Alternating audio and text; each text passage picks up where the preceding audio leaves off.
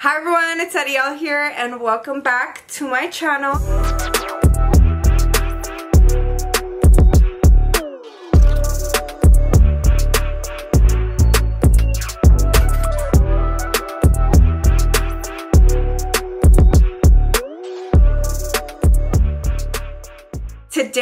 It is Vlogmas day 7 I think. We've officially made it a full week and I'm so excited. But today I'm going to be doing a long awaited Q&A video. I haven't done one of these in a while. I actually filmed one back in September which is still a long time ago and it feels like yesterday that I filmed it. I swear the past three months have just flown. The past year has flown honestly. But yeah long story short I never ended up uploading the one in September because of a brand issue and so I owe you guys a lot of answers to questions that you guys asked a long time ago and some recent questions so we are just gonna get right into it. Today's Q&A vlogmas. If you haven't watched all my other vlogmases you definitely should. You don't want to miss out before we move on to week two. But yeah make sure to give this video a big thumbs up, comment down below, subscribe, all that good stuff. And thank you to everyone on mainly Instagram I usually ask for tuning in and asking me questions. You should definitely follow me on there if you want to participate next time. So first question is I hope you're doing well. Thank you. I hope you're doing well also. What helps you stay motivated? Love you. I love you too. So candidly, my biggest struggle in life is low-key motivation. So I'm glad you asked that. I know I've opened up about it a lot in Vlogmases, but what helps me stay motivated is basically just thinking of my future self. What does she look like? What does she embody?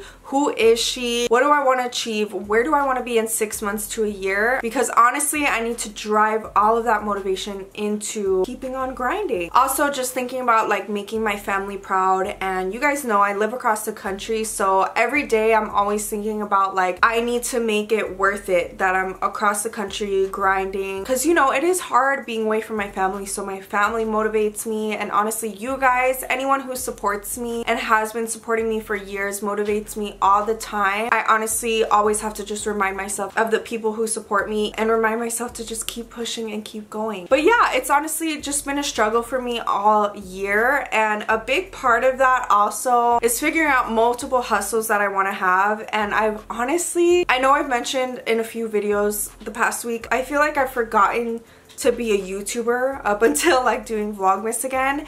But it's because I've realized the older I'm getting, the more I feel weird sharing my life on the internet. Like I was just thinking about how when I was 14, 15, 16, 17 on YouTube, really in my prime on YouTube, I was like oversharing like crazy. Like I was just talking and talking. And now I feel like as I've gotten older, I've become a lot more reserved and private and like cautious of what I tell people and like I don't even really open up as much anymore in general. So Vlogmas has been motivating me a lot to just kind of push myself and get out there again. Cause yeah, I just got like in such a rut I think in the past like two, three years of like, hold on, I've been doing YouTube for so long and now it's like at a point where it feels a little weird because I stopped for a bit. So I was like, wait, how do I navigate this and like still share my life and keep growing my platforms? But thank you so much for your question. Um, the next one is did you expect to date your now boyfriend? So no. I think we've mentioned this in our videos together but he's been a friend of mine for so long. I think like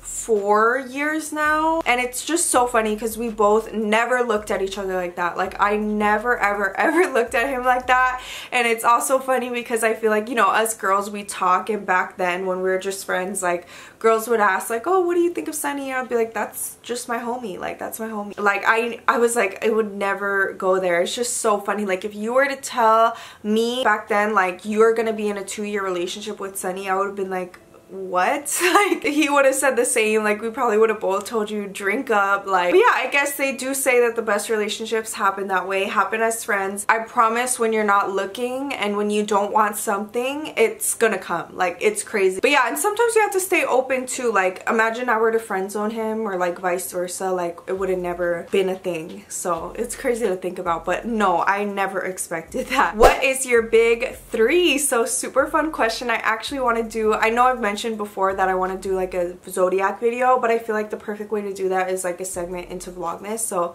if you want to see that let me know. But I am a Capricorn sun. Capricorn season coming up. Watch out December 23rd. I'm turning 24 years old. Don't play with me. And then I have a Scorpio rising, which is crazy because I always like growing up felt like I butt heads with Scorpios. And it's funny because my man is a Scorpio. Literally most of my romantic relationships in my whole life or like dating experiences even when I was single involve Scorpios. Like I don't understand. But it makes sense why I would like clash. They say like your rising is how people perceive perceive you when they first meet you, right? And I think that's so true. And I feel like I could totally see how I give Scorpio energy when you first meet me. I can be really like reserved and kind of like quiet. I don't know. I feel like, well, when you get to know me and I get comfortable, that's when I really start opening up and showing my personality.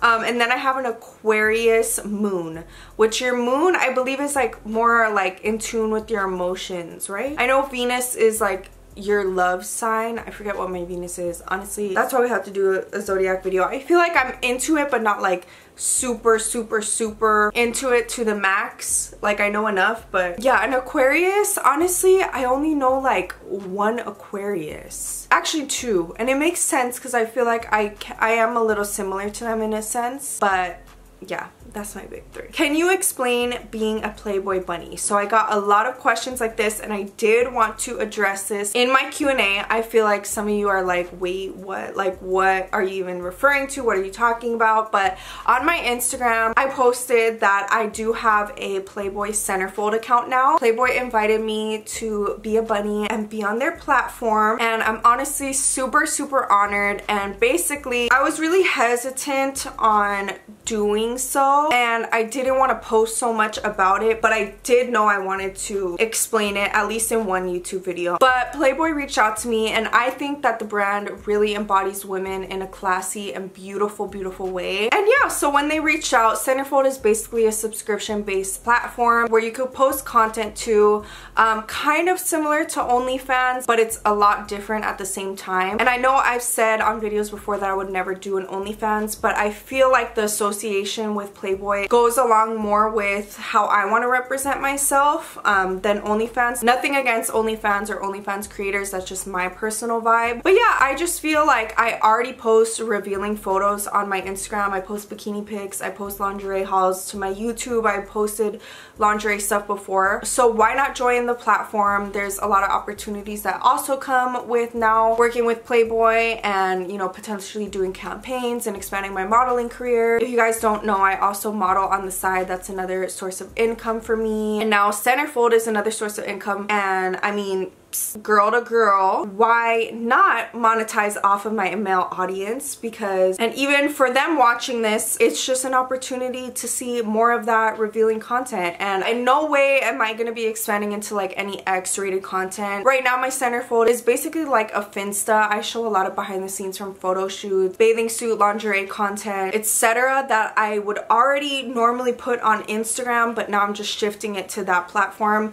Um, but yeah I feel like there's a lot of stigma around it. I don't really want to sit here and explain myself too much. Point is, I'm about to be 24 years old. I'm a grown-ass woman. I was very cautious about it because I'm very cautious about anything surrounding my personal brand, my future, what I want to do, what aligns and what doesn't. And I felt like Playboy is a good brand to partner with. And yeah, so if you're interested catch me on centerfold but i didn't want to promote too much because i do have a majority female audience and i post makeup fashion etc so i didn't want any of you guys to be like oh like she's changing she's whatever you know? So yeah i'm like trying to figure out like what to do there but for those of you who were confused that's my answer and that's what i have to say on that so. Yeah okay so multiple people wanted to know which why you guys tell me y'all are feeling messy. A lot of people ask if I still talk to my ex. No.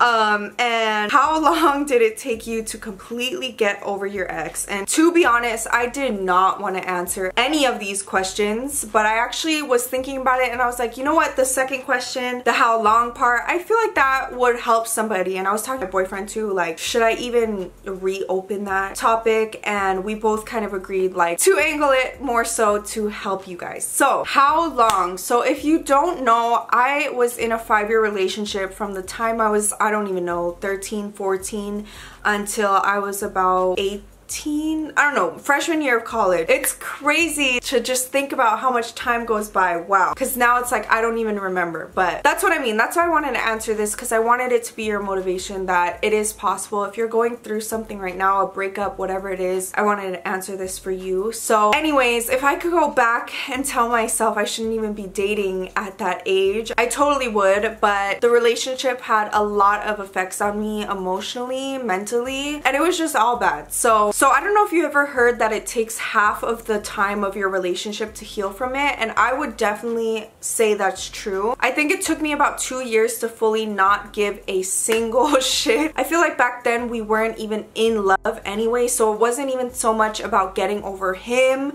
It was more so about like the damage of the relationship and the aftermath of it on myself. So I think it is true. It does take time. I would say half the relationship where I truly was like I could not care less about anything to do with this. But yeah, I just wanted to answer this because healing is a journey. Everyone's healing path is different. Don't rush yourself. Don't feel bad. Everyone's situation is different, you know? Like you just go through things. And don't get me wrong, I feel like I will also open up, up about this in like a relationship type video. Maybe next month, like Girl Talk Get Ready With Me. Relationships and especially toxic relationships will honestly have a lot of impact on your way of thinking and the way you move and feel in your next relationships too. So it's crazy because a lot of the issues you have from past relationships can sometimes carry over even when you thought you were healed. Um, so that's like another topic for another day. But yeah, now you guys don't have to ask me about that anymore.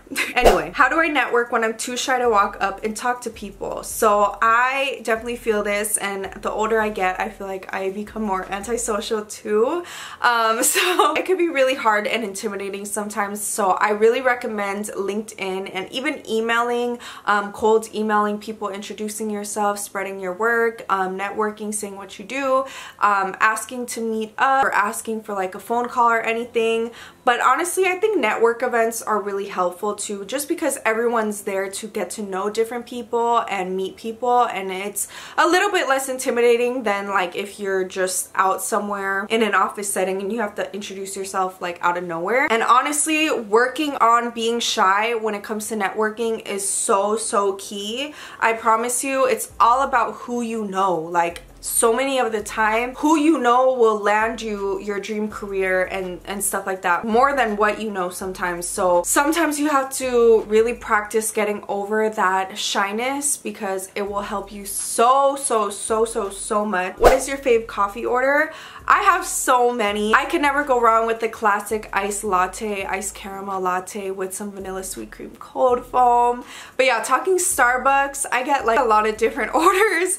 Um, my favorite is an iced triple espresso in a venti cup splash of oat milk i think it's three pumps of white mocha and then um, sweet cream cold foam. In the fall i get pumpkin cream cold foam. It's just the perfect balance of pumpkin because i don't like too much pumpkin. It is amazing I'm like salivating thinking about it. I actually didn't have coffee today and it sounds so immaculate right now. But yeah, I also love me a good cold brew. Cold brews are amazing. I didn't like them for a long time, but vanilla sweet cream cold foam, you can't honestly go wrong. But if I'm at any coffee shop, an iced latte with oat milk can never go wrong. I also love me a good cappuccino also for like a hot beverage. Favorite alcoholic beverage. So if you've been watching my vlogs, you probably know it's Hennessy. Um, it's crazy because because I cannot do any tequila anymore. I can't.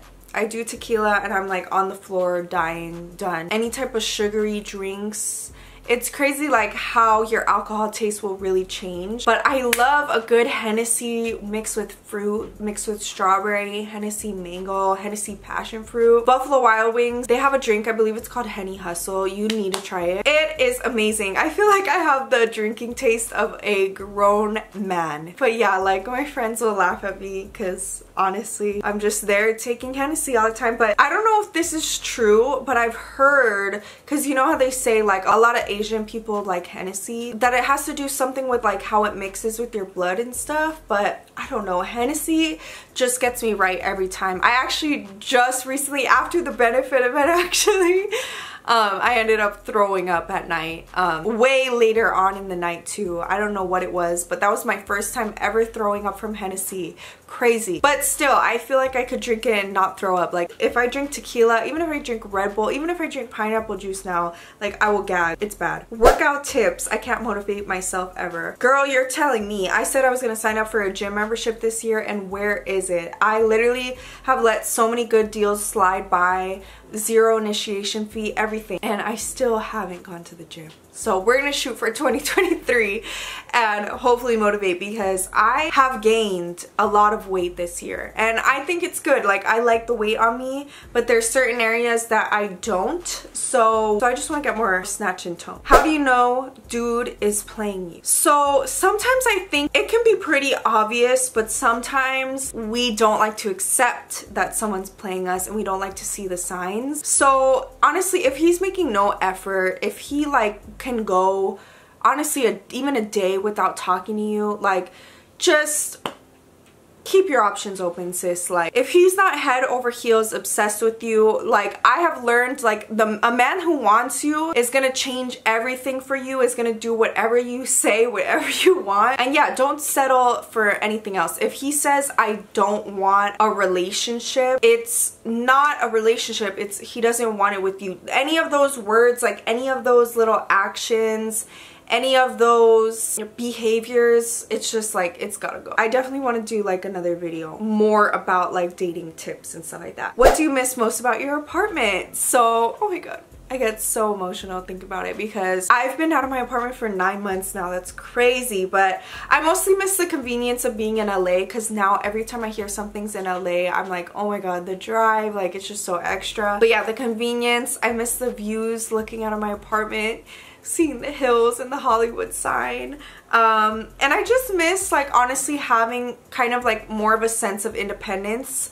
Um, don't get me wrong, I'm one independent ass girl and that will never go away. But I feel like and by the way, I'm not talking about like because I live with my boyfriend. If you guys don't know, my boyfriend and I actually live with some of his family members as well. So that's what I mean. I just miss my independence, like my alone time. I'm so huge on like, I don't know. I'm just a very like, I love being alone. Like I could be alone in my room for days at a time. Like I'm not the type of person that feels like I need social interaction. So that's basically what I mean. Like just having like my place you know, and having like my own kitchen, my own bathroom, like all that kind of stuff. But 2023, we're gonna get there. Um, tips for moving in with your partner. So I definitely answer this more with him and like do more relationship advice videos. But first things first, I think definitely do sleepovers, go on trips, do some trial runs. Cause honestly, that was the only reason me and my boyfriend thought it would be such a good idea because he would literally stay with me for so many days, even weeks sometimes. And we just would have the time of our lives like would not get into it and it's still like that to this day I, I always see like some people say like that they have separate rooms from their partner like sleep in separate beds and I'm not trying to talk on anyone else's situation this is honestly just my opinion like maybe I'm just this type of person and my man is just this type of person but I feel like when you're in the right relationship you're not gonna feel like oh like I need to get away and like I don't know maybe that's just me and my man's relationship but he'll be in the restroom and we're texting each other like miss you like that's just how we are. So I feel like it was just a really easy transition to live together. Don't get me wrong, of course there's times we bicker and like get annoyed of each other, but I don't think it's because we live together. It's just like what it is in a relationship. But yeah, feel that first because like I, just like I said, I love being alone. I love my solitude. So when he was around me and I was not tired of him, I was like, oh wow, I like this. Like this is nice. I was like, okay, this this is good because if you know me, you would know I would still be on my apartment. Okay, we're gonna do two more because this is so long. Um, what is your dream city to live in? I feel like it was Los Angeles and I feel like I still love Los Angeles. I've talked about a few times. I think in the video that I talked about that I was moving away from Los Angeles, I touched on a few reasons I don't love it as much anymore and it's not for the reasons you think. Um, I just think that it's become a very like negative, um, unsafe, sad place. There's so much like homelessness and just so much bad stuff in LA. So yeah, I honestly have been thinking too of what it would have been like if I went to college in New York City. Like if I didn't leave and I just went to college in New York City. Obviously I don't regret anything. I'm so happy I moved out here. You know, I wouldn't know the people that I know and have the life that I have if I didn't. But I feel like it would be a vibe. And it's so weird how things change too because in, in high school I would be like, ugh, I don't want to live in New York City. Um, but I feel like I would like to for like a year or Miami. I just feel like that's another place that I would never picture myself wanting to live in. But lately I'm just like, damn, I kind of want to go to Florida. So yeah, and last question is, any tips for being consistent? To be honest, I've been MIA on YouTube for the past six months. Girl me, especially before Vlogmas. You guys know I was dropping like three, maybe four videos a month, maybe, which is all bad. But honestly, through Vlogmas is why I'm able to give you this advice because really I wouldn't have been able to speak on this. Through Vlogmas, I've realized that consistency is really just like a mental thing of you saying you have to do it. I've pushed myself like you have to to do it and it's in your daily routine and in your to-do list and I mean it's a little bit easier said than done because I've been doing social media full time so it's easier in that sense but you kind of just have to force yourself to be consistent and force yourself and think of it as just your escape and do it. But yeah, I've been talking and talking and talking and honestly my back hurts so bad. So we are going to conclude this Q&A and this Vlogmas day 7 right here. I really hope you guys enjoyed. Thank you guys so much for asking questions. I can't wait to chat in the comments. I hope you learned something. Stay tuned for more Vlogmas. I'm not sure if you guys will see me tomorrow yet, but yeah, I talked about that in Vlogmas day 6. So if you didn't watch that and you want to know why you might not see me watch that. But yeah, thank you guys so much for watching. I love you all so much and I will see you guys next time. Bye everyone.